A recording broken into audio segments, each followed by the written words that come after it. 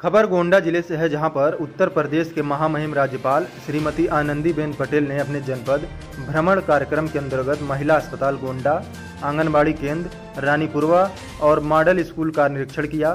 साथ ही circuit house में भारत सरकार की प्रमुख योजनाओं की प्रगति का प्रस्तुतिकरण व सफलता की कहानियों का अवलोकन किया।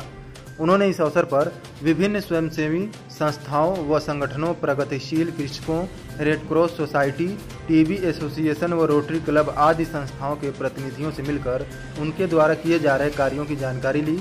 साथ ही उनके द्वारा किए जा रहे कार्यों की सराहना करते हुए उन्हें पत्र भी प्रमाण पत्र भी प्रदान किए। माननीय राज्यपाल, सर्वप्रथम महिला अस्पताल पहुंचकर वहाँ पर रिसेप्शन काउंटर, रोगी सहायता केंद्र, हेल्प डेस्क, पूछताछ केंद्र, sample collection room, OPD, Ayushman Bharat योजना काउंटर, टीकाकरण कक्ष, लेबर रूम, प्री व पोस्ट डिलीवरी वार्ड, बच्चा ward, surgical ward PNC ward, पर्चा काउंटर आदि काउंटरों पर पहुंचकर निरीक्षण किया। उन्होंने मरीजों से उनको दी जा रही सहायता व सुविधाओं की जानकारी ली, साथ ही मरीजों में फल भी वितरित किया।